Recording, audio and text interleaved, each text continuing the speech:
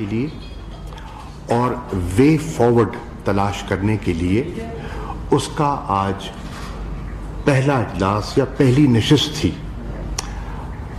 اس میں میں اس کرتا چلوں کہ خاصی لمبی نشست ہوئی، گفتگو ہوئی اور سب حضرات نے اپنا انپٹ دیا۔ اس کمیٹی کی جو آج خصوصیت ہے میری نظر میں وہ یہ ہے کہ اس کمیٹی میں پاکستان کے تمام انسٹیٹیوشنز کی نمائندگی ہے اور سب کا انپٹ اس میں آیا ہے۔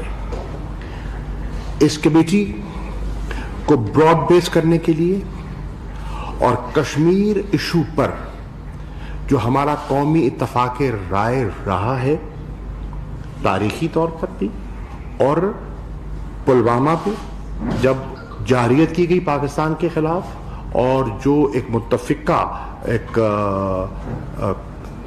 طور پر اس کو کنڈیم کیا گیا پوری پارلیمنٹ کی طرف سے۔ اب پارلیمنٹ نے جو جوائنٹ اجلاس میں جوائنٹ ریزولوشن پاس کیا گیا، اس کو سامنے رکھتے ہوئے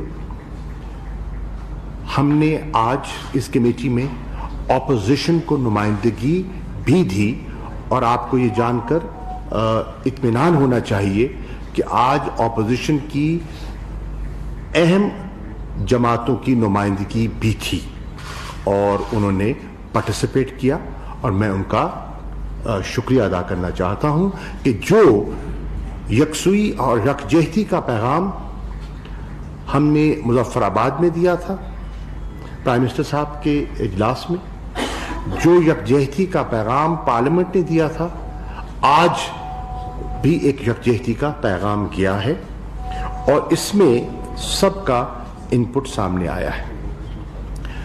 پہلا جو اس میں آج ہم نے نشست میں پہلے تو ہم نے اسیس کیا ہے کہ کل جو اجلاس ہوا جو کہ ایک تاریخی اجلاس تھا سیکورٹی کاؤنسل کا، ایک غیر معمولی نوعیت کا اجلاس تھا، کیونکہ پانچ دہائیوں کے بعد یہ نوبت آئی ہے کہ کشمیر کو، مسئلہ کشمیر کو سب سے بڑے فورم پر اٹھایا گیا۔ جو فورم اس کو حل کرنے کا ذمہ دار ہے، جہاں گیارہ قرار دادے ہیں، اس فورم نے ان قراردادوں کی اہمیت کی تجدید کی، یو این چارٹر کی اہمیت کا ذکر ہوا، اور سیکٹری جنرل کے بیان کا وہاں تذکرہ ہوا۔ اور یہ بڑی حوصلہ افزا نشست ہوئی، اور اس کے جو نتائج ہیں، ہندوستان کی بھرپور مخالفت کے باوجود الحمدللہ یہ ایک بہت بڑی پاکستان کی کامیابی ہے۔ آج کی نشست میں ہم نے جو مشاورت کی، وہ یہ تھا کہ کل ہم نے ایک بہت بڑا مارکا سر کیا ہے اور چونک گیا ہندوستان کہ یہ کیا ہوا۔ اب ہم نے آگے کیسے بڑھنا ہے۔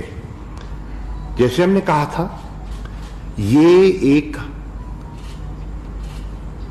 لمبی لڑائی ہے جو ہمیں ہر محاذ پہ لڑنی ہے اور یہ ایک پروسیس ہے، یہ ایک ایونٹ نہیں ہے۔ یقیناً کل ایک بہت بڑا ایونٹ ہوا، لیکن یہ پروسیس ہے۔ اس کے لیے ہمیں تیاری کرنی ہوگی۔ آج ہم نے انپٹ لیا اس کمیٹی سے، جو پرائم منسٹر صاحب کا جو جو اس کمیٹی کو مینڈیٹ دیا کہ مشاورت کیجیے اور ایک پلان آف ایکشن مرتب کیجیے کہ آئندہ آنے والے دنوں میں ہماری سفارتی حکمت عملی کیا ہونی چاہیے؟ ہماری پولیٹیکل حکمت عملی کیا ہونی چاہیے؟ ہماری لیگل حکمت عملی کیا ہونی چاہیے؟ ہیومن رائٹس کے ایشوز اگر آتے ہیں، یقیناً آئیں گے جو آ رہے ہیں، ان کو ہم نے کس طرح اجاگر کرنا ہے؟ اور کیونکہ انٹرنیشنل میڈیا نے میں یہ اعتراف کرنا چاہوں گا، میں نے کل بھی اس کا تذکرہ کیا، نے بڑے عرصے بعد کھل کر آپ کا ساتھ دیا ہے، آپ کے موقف کا ساتھ دیا ہے، حق اور سچ کا ساتھ دیا ہے۔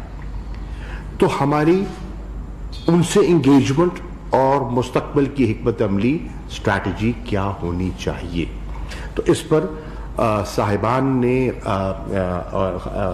ہماری خاتون ایڈوائزر صاحبہ بھی تشریف فرما تھی سب نے بہت مفید مشورے دیے ہیں اور میں ان کا شکریہ ادا کرنا چاہتا ہوں۔ ایک چیز بڑی واضح ہوئی اور میں لبی بات نہیں کرنا چاہتا کہ پوری کمیٹی اس چیز پر متفق ہے کہ آج جو ہندوستان کی ہمیں شکل دکھائی دے رہی ہے اور یہ آوازیں اب ہندوستان سے آنی شروع ہو گئی ہیں کہ مودی سرکار نے نہرو کے ہندوستان کو دفن کر دیا ہے اور آج جو ہندوستان کا چہرہ دنیا دیکھ رہی ہے، یہ نہرو کا ہندوستان نہیں ہے، یہ نریندر مودی کا ہندوستان ہے اور دونوں میں زمین اور آسمان کا دن اور رات کا فرق ہے۔ ایک۔ نمبر دو۔ ہم اس نتیجے پہ پہنچے ہیں کہ اب جو ہندوستان کی حکمت عملی ہے اور جس حکمت عملی سے وہ آگے بڑھ رہے ہیں، وہ ایک ڈاکٹرن ہے جس کو ڈوال ڈاکٹرن کہتے ہیں اور اس کی گرد گھوم رہی ہے۔ اور اس میں کئی کردار ہیں، لیکن اس کے تین نمایاں کردار جو ہیں، وہ وزیر اعظم نریندر مودی ہیں، ہوم منسٹر امیت شاہ ہیں، اور نیشنل سیکورٹی ایڈوائزر جو ہیں دوال ہیں۔ ہم اس نتیجے پہ بھی پہنچے ہیں کہ کل کے اس اس سفارتی شکست کے بعد اور جس طرح آج دنیا میں ہیومن رائٹس کا تذکرہ ہو رہا ہے وائلیشنز کا۔ اور آپ نے دیکھا کہ کل کرفیو کے باوجود جمعے کی نماز کے لیے لوگ باہر نکلے۔ مسجدوں کو تالے تھے، لیکن پھر بھی باہر نکلے اور لوگوں نے گراؤنڈ میں نماز پڑھی۔ خواتین اور بچوں کو، معصوم بچوں کو لوگوں نے کندھوں پہ اٹھایا ہوا تھا۔ اور انہوں نے جو اقدامات ہیں اس کو مسترد کیا۔ جانتے ہوئے کہ کرفیو کا سما ہے، کرفیو نہیں اٹھایا گیا۔ تو یہ ایک جھلک ہے ان جذبات کی جو جب کرفیو ہٹے گا تو سامنے آ سکتے ہیں ان کا اظہار۔ چنانچہ، کمیٹی اس نتیجے پہ پہنچی ہے کہ ہم انٹرنیشنل اٹینشن کو ڈائیورٹ کرنے کے لیے این ممکن ہے۔ کہ ہندوستان کوئی فالس فلیگ آپریشن کرے۔ اور ہم بر وقت انٹرنیشنل کمیونٹی کو آگاہ کرنا چاہتے ہیں کہ ہمیں ان کی نیت پر شک ہے اور ان کے ارادوں سے ہم واقف ہے اور اس کے لیے انشاءاللہ قوم تیار ہے۔ اور پاکستان کے ادارے